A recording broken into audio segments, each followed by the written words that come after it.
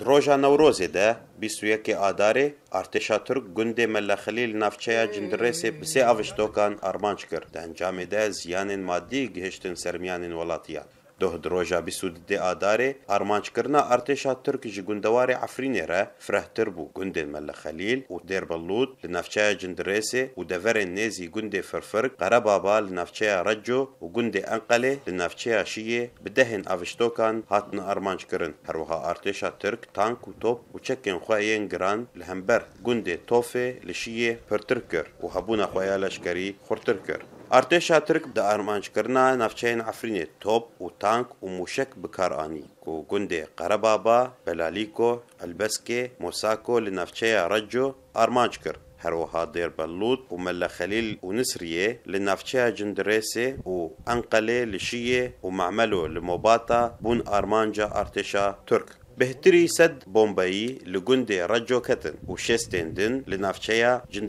و چلو حیشت حيشت لشیه کت و واف ارمانش کرن تا ساعتن بشف بردوام کرد. ji berketina aviştokan sê sivîl li Dêrbelut birîndar bûn û yekî din li gundê Xelîl li Nisriyê li navçeya Cindirêsê sed û pêncî û pênc aviştokên artêşa Tirk di çend saetan de ketin û ev ermançkirin ta vê sibê berdewam bû. Heroha firokeyên çavdêriya artêşa Tirkiye li ser gundê Qerebaba firiya û gera xwe li ser temamiya deverên ku artêşa Tirk armanc dike berdewam kir.